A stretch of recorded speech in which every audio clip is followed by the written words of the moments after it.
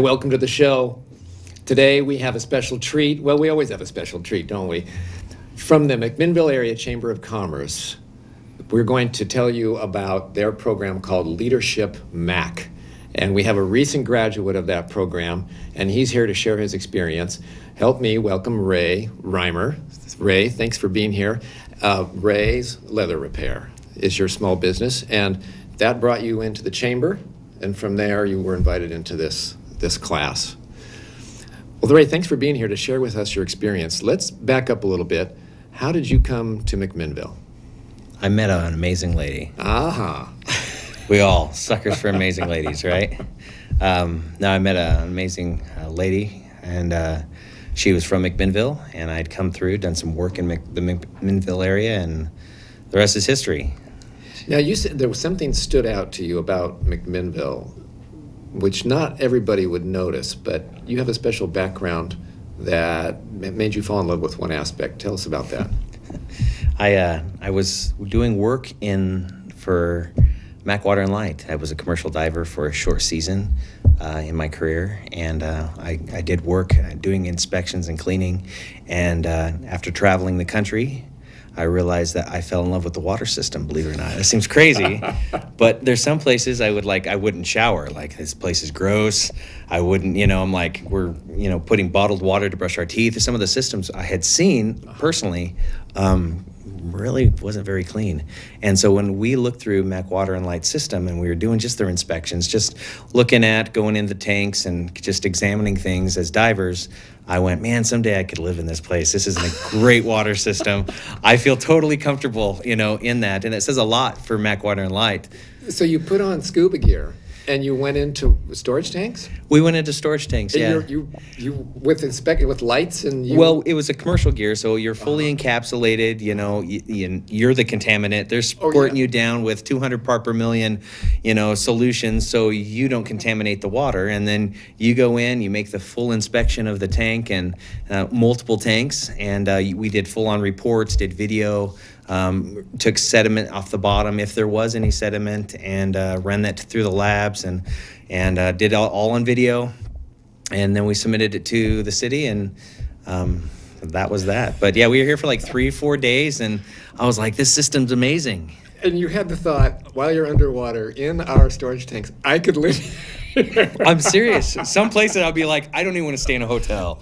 Let's just stay out in the camper. We'll, we'll use the system that we have that we know is is good. But yeah. So you met then someone. You were in Corvallis. I was in Corvallis. And you met someone from McMinnville, and you thought about water system. It's kind of a funny story, but when right before, right before uh, my wife Christy and I, right before we met, uh-huh. um, I was working in McMinnville, yeah. and then shortly after that, I met her, uh-huh. and then to find out she was from McMinnville, and I'm like, we can live there.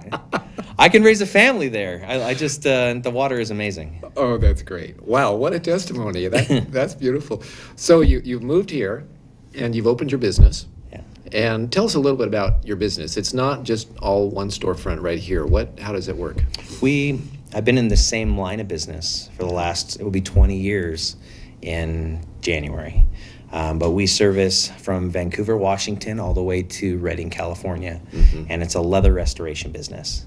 Um, so we work on leather, vinyl, mainly with the furniture manufacturers. That's kind of a lot of what we do. Do all the warranty, in warranty, and out of warranty work, and we work okay. for many retailers that sell uh, for those manufacturers. Now, when I graduated from college, my dad gave me a leather briefcase, two handle brief bag, I think it's called, and I wore it out. And now I brought it. It's in the car. We can't forget. I want you to take a look at it and see if you can save it. Is that the kind of thing? For sure. Okay. Yes. Good. Love, love to help you out. I'd love to pass that on to the next generation. Okay. It's a beautiful piece. All right. So you're here. You're in business, and you tell us about how you got hooked up with the with the chamber. Um, through my wife once again. Uh-huh. Went to a couple events, went to a couple greeters. How is she involved? Um, she is the manager at US Bank. Okay. So, um, you know, she's hosted a lot of different events. She's been involved in the community for years. Uh-huh. Um, and shortly, I met a lot of new people. Met Nathan Nottingham at the time. Um, we had moved back right after he had come back on board, so it was uh, it was really neat to kind of have that relationship. And then, you know, of course, everyone. You know, I could just list names of people like right away. Just shook their hand, and I just felt like I was already a part of the community. We just got we just got here, and felt very accepted. And I was like, I, I want to be a part. So what can I do? And There why I joined is a, there is a magic in greeters. Every Friday morning, those business people come together, and the community that's there, the common esprit de corps of we're doing business. We want a successful, thriving, sustainable community. We want a strong local economy. That bringing those people together and working together like that is it's a special feeling. So you felt that, and you got a little nudge from Nathan. Tell us about that.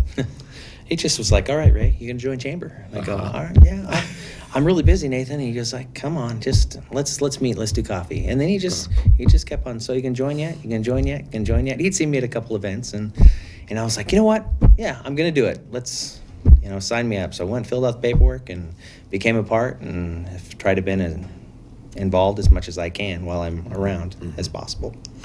So that then translated into oh, leadership Mac. It wasn't you and the family that did it first. So tell us about Christy was a, uh, a member. Correct. So she went through it last year. Uh huh.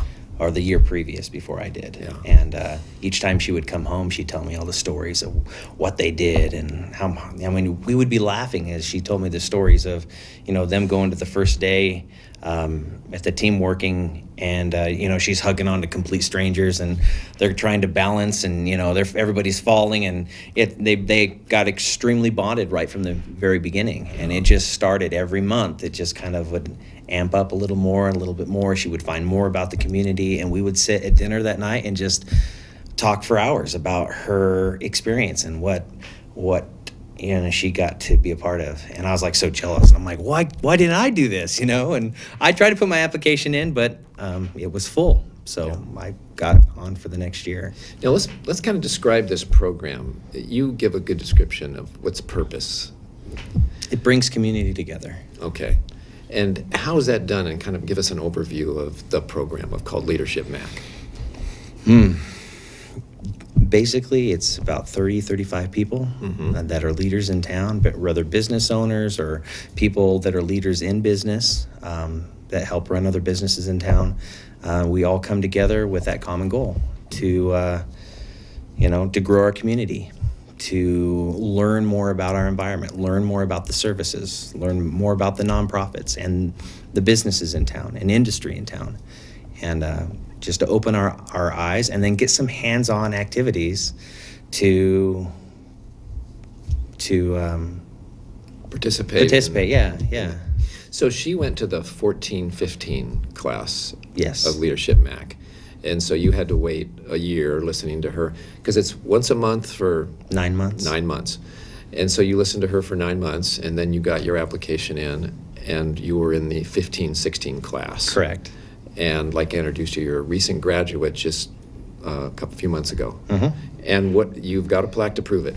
i do i do i got a plaque to prove it they at graduation they they give those and uh, they give those out and you put it on your wall and it's something to be proud of. Something to be proud of. You know, right here, you brought in this this um, ad for, um, or it's a program, it's our graduation. Graduation program, and they list in the program all the graduates since 1988 1988, and uh, there's just there's hundreds of them, and I was looking through and I saw uh, Cassie Sollers and uh, Rick Olson both graduated back in the 90s, and um, so there's just you could go through that and find a lot of people that you knew that have done this program, and it's um, okay. Well, I'm gonna let you talk about it, not me. um, so you started out. What was your? You talked about what Christy had, was experiencing coming home, telling you about this this training or what the the ropes course or what is that? Tell us about that first meeting. So the first meeting, we go out to uh, the Tilikum uh, challenge course, and uh, they set up obstacles and and uh, they break you up into teams, and you basically whether you're balancing on wires or you're you're balancing on blocks with multiple people, so you have to make sure your weight is properly balanced, um, and then you find yourself hugging complete strangers, and it's normally you know at that time of year it's sometimes it's a little muggy out, so we're all kind of like you know uncomfortable, you know, but it breaks that uh, that barrier, and you feel you walk away from that feeling, huh, I may have hugged you, I may not even know your name, but uh, We're a know, team. we're a team. We're a team now. We are a So team. they generate this teamwork atmosphere. So when you go out together, you're given challenges during the class. Is that right? Yeah, well, Well, let's sure. talk about that. First class after the uh, challenge course uh, was in September, and then in October it was called Human Services. So what happened there? All basically all the nonprofits in town came and they shared their heart and their purpose and what they're trying to accomplish in our community. Um, and from my experiences, was I, I my mind was open to what these nonprofits actually do and their needs and how can we be a part. And we probably heard from I don't know 15, 20 maybe even more nonprofits, and they shared their pro shared what they were about, what their goals were, and then as a class, we got to vote on um, helping a couple of them. And so each nonprofit knew that we were interviewing them essentially of maybe a project that they wanted to accomplish this next year during these next nine months. And we picked a few of those. So they made a presentation to you as a class on here's a project you could take on if you choose to do so. So the class voted and chose two of those projects. Three four, we got, uh, Okay. one one fairly good sized project, Okay. um, and a couple smaller projects um, that that would last the entire nine month period that we could continually work on. And uh, yeah, we we made a vote as a class, and uh, it really kind of brought us all together. To you know, people stand up and like, I'll head this, I'll head this, and and uh, we put small committees together and made it happen. So people just got inspired by being there and rose to action. And tell us about some of those projects that you chose. Uh, so the one I'm pretty proud of is we the St. Barnabas Soup Kitchen. Their dishwasher was breaking down on a regular basis, and you know they feed oh I don't know fifty thousand meals or something like that in a year, and so it was one of those things where who wants a when you're washing that many dishes who wants a dishwasher to break down where you have to wash them all by hand and I was like that seemed like a no-brainer we need to fix that and uh, they had a proposal and they said it would be about $10000 and we thought well in this amazing community that should be pretty easy So there's 35 people in this class, and they voted to take on raising $10,000. Correct. And that was going to be easy. that we thought Okay. What happened? Uh, we put a campaign together. We put a crowdfunding campaign together. We put a, a small committee of us got together, kind of came up with some little taglines. Like we were kind of joking, um, like we called it the um, CP uh, C, or, or Clean Plate Club. Um, and so we uh, put a campaign together with some crowdfunding, and to our amazement, we totally surpassed our goal. For those of us that aren't familiar with crowdfunding, just tell us a little bit about what that looked like. Well, we did it on generosity.com. Okay. And we kind of put a, we made a short video Uh-huh. explaining our purpose and what we wanted to accomplish.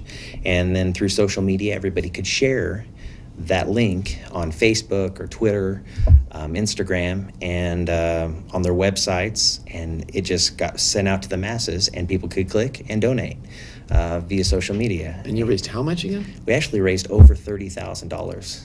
We tripled our $10,000 goal, which is huge. And you raised $30,000. Correct. And this came from the community all over the country. It was all over the place. So we had cash donations, and Wow. um, people could come in and donate right at First Federal there. And uh, you know, it just the the word spread, and to our amazement, the community just stepped up. They just stepped up, and people gave generously, and we made it happen. So the dishwasher got replaced, but and you had 20,000 left over, which you did what with? They totally redid their kitchen, completely remodeled their kitchen. That's how that happened. I was aware that that that that that, that happened. New Yeah. stainless steel. yeah. A new walk-in. Wasn't there a freezer effect? Yeah, there was like, you, know, you, you just have to go look at it. Okay. And they had befores and afters to show you exactly what happened. It's pretty awesome. That is pretty awesome. Uh, another project. You remember what? Uh, we did a community garden Okay. with um, Advancements. Um, they it was phase one. There was a couple phases that they put together, so we didn't finish the project, but we went through, cleared the land, you know, kind of laid down gravel, um, and uh, once again another committee came together, and uh, they organized with the class and said, "This is what we're doing." Lots of uh, lots of things were donated, and uh, they were able to finish that um, actually shortly after graduation uh, because of the weather. We had to hold off on that. So. Um, but yeah, that was another project we did. Uh, um, Aiden's Toy Drive um, was another one that we did, and um, yeah, So the nonprofits came, inspired you, you took action, a, a big success. So this team that was created that first day with the uh, the course, the trust course, you really then had another success, and not just balancing on a on an obstacle, but really helping out the community. correct. So you've had two big wins right in a row. Right. Uh, I I mean, opportunities to, to start on those. Okay, so the next month, November, basic services. What's that mean? Um, sewer, water, garbage, all those services that we don't necessarily don't think of that much. You know, if the sink works, you know, we got to go to Mac Water and Mac Water and Light and tour through their facility. Went through the treatment plant and toured through the facility. Now, did they give you a spotlight moment because you, I kind of the water expert. I kind of kept my mouth shut. I really didn't say much. You know, I don't. I don't really say. Yeah, no- nobody. You're very privileged to know that information. Most people don't know that information about me and McMinnville. well, we won't um, tell anyone, Ray. it's only on TV now, so hey. All right, so you tou- toured water, sewer. What'd you learn there? Just to appreciate all the hard work that goes in to make our water amazing. You know, we heard about the reservoirs up on the hill, that it's all privately owned, how it's all funded, um, you know, how to, how what they, what the steps they took to make Mac Water and Light what it is today. Um, the vision that's gone into it over the years um, is really inspiring. People just really said, "Hey, we're going to need water for a long time." And this was 100 years ago, and what it's come to is just something to really be thankful for. for sure.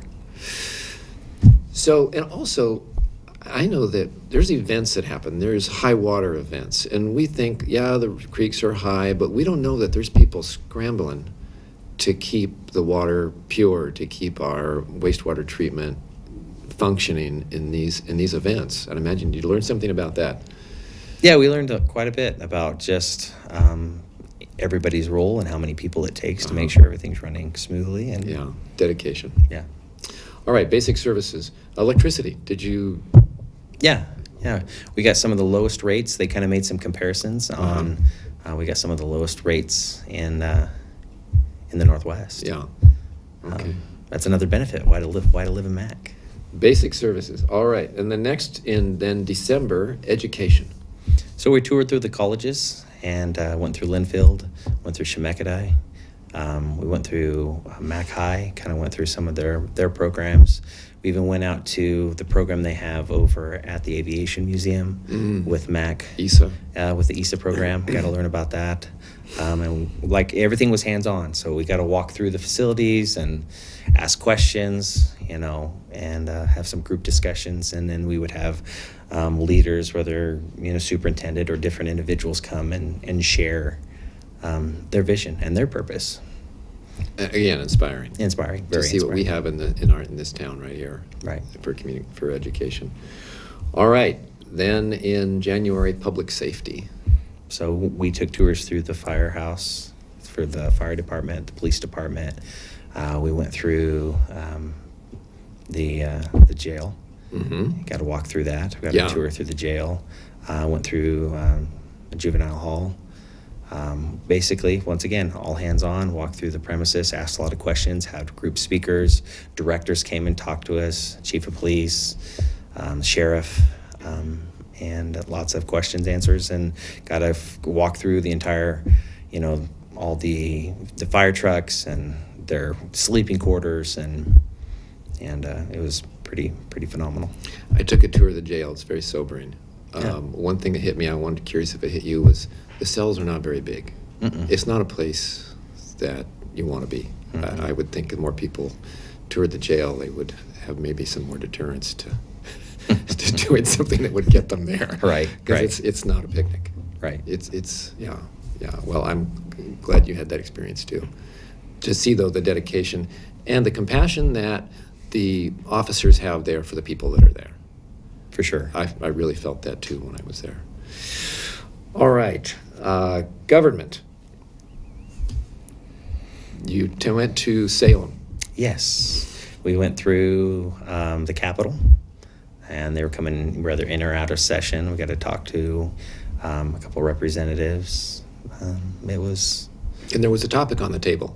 yeah, at that time, the whole, um, you know, minimum wage topic was, now that and uh, doing lots of talk about the marijuana, you know, some of that stuff was all kind of, you know, settling or, and then the minimum wage topic was pretty hot at that time. So you got to watch that unfold. Yeah, we kind of got to see kind of a little bit behind the scenes and realize the importance of us. We have a voice, and a lot of us just go through our day to day, and we don't call up and you know talk to us, you know, a representative, a senator, or um, you know someone that has that authority to make a, a decision, or go in person. We heard the value of actually going, knocking on the door, and saying, "I have a huge concern." We, you know, they get flooded with emails, flooded with phone calls, but you just go knock on the door and say, "This is my concern. This is what it is." They'll listen. Did you actually go to our representative in our senator's office? We did. We walked through. Okay. Yeah, we walked so through. So to see where Representative Weidner, Senator Boquist, they actually sit, work, Right. and those offices are the ones you go visit when you, if you get an appointment. That's correct. And Boquist actually came out and talked to us Uh-huh. as a group, and we had a had a time to talk out there on the steps of the Capitol, and um, it was it was great. Our senator came out and talked to leader, the leadership class. Yeah.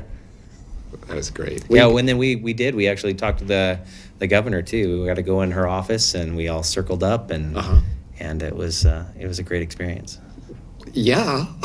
It was a great experience. that is great. You get treated with a lot of respect in leadership class. Yeah. It sounds like. Yeah. You people open their doors and treat you treat you well Yeah. because they know that you're there to learn how to bring community together and be leaders. Right. All right. All right.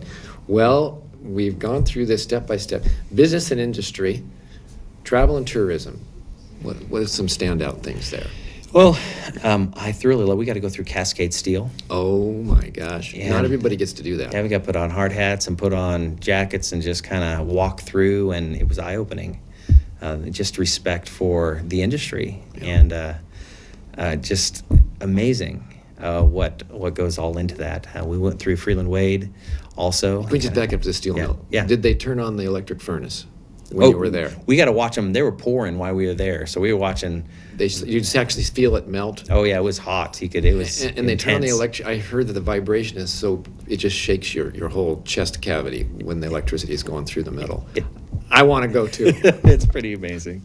Pretty amazing. okay, and then you said uh, Freelin-Wade, Went through Freelin-Wade as well. um, Meggitt. Went through Mega. Yes. Yeah, Jeremy Lodge there, an amazing manager. He came out and talked to you. He did. He was my personal tour guide on the on through it all, and that was pretty amazing. Got to hear him and his his his story and and his passion and He's Yeah. grown that that uh, plant a lot. They've really made some advancements in the last few years. and I would have never thought that some of the things are actually coming out of McMinnville. Uh huh. Um, just some of the things they make there, um, whether it's things on airplanes or on even he has the you know that secret section where you know you're not supposed to talk or disclose and you know of whoever he's sending these items to. A lot of military stuff, and uh, that's made right here in our backyard. So you got a feel for the important industry that we have in the area, and that was that was eye opening night. Yes. Yeah. Yes. All right. Uh, business and tourism. We have a we have a room tax now that's made possible. Uh, what's the name of the organization? Visit McMinnville.com. Yes. Okay. And you learned about how they're bringing people. Right. Well, we also kind of we walk through Third Street and you know got to look at what makes McMinnville so amazing and how we are the best downtown west of the Mississippi and uh, you know just a lot of um, unique you know places to eat, places to visit, wine country right right downtown on Third, and so that was that has been a big part of um, you know travel and tourism. Leadership, culture, and history. Now, what what went on there? This is your last class in May. Right. We we kind of heard about you know the historical prospects of our community and how where we came from and um, toured some of the old buildings uh, downtown and and uh, just kind of walked through. Uh, we went through Third Street Flats and kind of the renovations and the transitions there, and kind of got to see hands on a lot of that uh, as well. And So you were glad to live here in McMinnville. You thought this was a great place. Now, after leadership, the leadership class, I imagine that enhanced that a bit. yes, that's an understatement for sure. Um, I don't know. I just walked away, just mind opened, and just that much more of a respect for the family that that McMinnville is, because I, I truly believe it is a family. You know, we, you know, meeting Carrie and seeing some of the stories, you know, from the Cancer Foundation, and watching someone go through hardship, and the community just coming together and like, we're going to make sure this person's taken care of, or you know, whether it's food or just the love you feel in the community is is amazing. And uh, I just I just had a whole nother picture of the people that make McMinnville so amazing um, through this class. You came up to me and, and talked about coming on the show to do this because you just graduated, and I, I, I just got this feeling. I get this feeling from you. You want to give the whole town a group hug. It's, it's just that that kind of connection. Yeah. So bringing community together is the purpose of Leadership Mac, and it has, really seems to do that. Well, let's get into the uh, advertising portion of our program. Okay. to talk about, yes, you too can uh, be in Leadership Max. So, registration. There's a you can go to uh, the chamber office. Now, you need to be a member of the chamber to begin with. No. No. No, you'll just pay a little bit more to join. Okay. So you don't have to be a member, um, but there's a discount if you are. Okay, Um, great. So, any, anybody can do this. Anybody can do this. The first Um, 35, 30 people that sign up can do this. It, it fills up very quickly. So, um, yeah, you just pick up an application, you fill it out, you turn it in the chamber, they'll review it, um, they'll get back to you, and then there's another process. They'll fill out some, they'll get some more information from you, um, and then it goes um, through the committee. Everybody kind of looks everything over, and it's going to fill up quickly. Yeah, okay. And it, the registration is open now. Yes. Now, just to review the scenario, it starts in September. It's once a month for a full day. Yeah, it's a full day commitment. And I see this, the dates are around the middle of the month. And uh, every, once a month for nine months. Correct. And then you had a graduation ceremony. We did. What was that like? It's uh, pretty awesome. We we vote on you know most likely to most likely to volunteer in the community. You know they vote on you know who's most likely to be a politician. The you know who was you know the class president essentially who was involved the most or um, and there's just everybody's kind of likes this silent little vote that the last day and then they give out the plaques and and certificates at that time. Uh, we kind of meet up, do a little, uh, do a dinner as a group, and and uh, just kind of say it has been great these last nine months. It feels like kind of a high school graduation. I mean, when you're picking this most likely to succeed and, Right, right. and a class couple. Um, but you have that feeling. You have that, that relationship with each other and you want it to continue on. And it does continue on, I understand. Can you tell us a little bit about the committee that, uh, that sustains this?